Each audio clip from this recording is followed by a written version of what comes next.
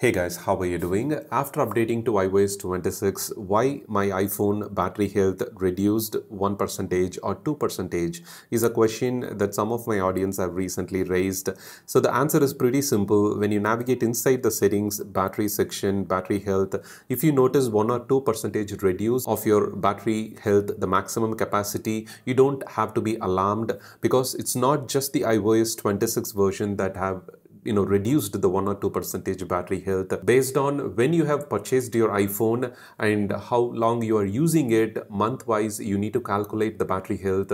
That will help you to get a better understanding about why the iphone battery health reduced after ios 26 update. If you have recently got an iphone like 6 months or 5 months before and after updating to ios 26 if you're noticing such sudden drop in the battery health then calculate it from the month of purchase. Like if it is for example like 6 months it's been since you bought the iPhone and you are seeing like 3% or 4% reduce, it is absolutely normal. You don't have to worry about it. It is a normal reduce based on our usage and charging practice. As mentioned in our previous episode, I'll leave a link to that in the description and in the first pinned comment. You can check that how to do the correct charging practice for your iPhone to take care of the battery health. We cannot freeze the battery health at 100% forever, but based on your usage and charging practice, we can gradually make the reduce happen without several percentage drops even for normal usage. If you're charging just once a day and your usage is very normal, the screen on time is average, then the battery health will not reduce faster. If there is any defect in your iPhone battery or any hardware related areas, then you will see the battery health reaching 80% within one year time, which is mostly within the warranty period.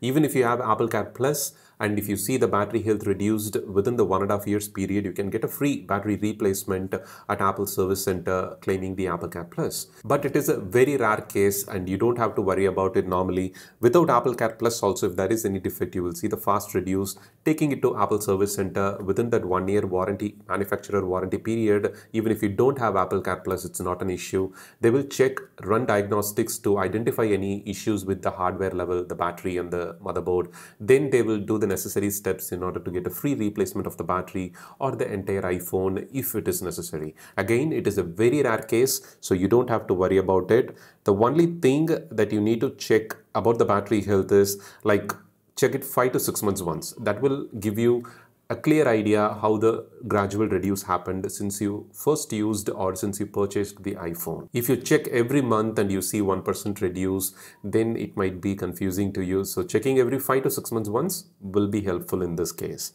So this is why the iOS 26 battery health reduced 1 or 2 percentage after the update that it might be due for the reduce so you don't have to worry just make sure to update the next upcoming iOS 26.1 and 26.2 versions to receive more battery tuning and performance related bug fixes so that you will get good battery backup overall for your usage and you can have that normal charging practice. If you're a gamer, you use high screen on time, you charge twice or thrice a day off your iPhone, then the reduce is absolutely normal. You know, like people lose one or two percentage in a month when they have very high screen on time. I hope this video helped you to understand why your iPhone battery health reduced after iOS 26 update. Thank you so much for watching. For more useful iPhone, iPad and Mac related tips and tricks, don't forget to subscribe. Have a wonderful day.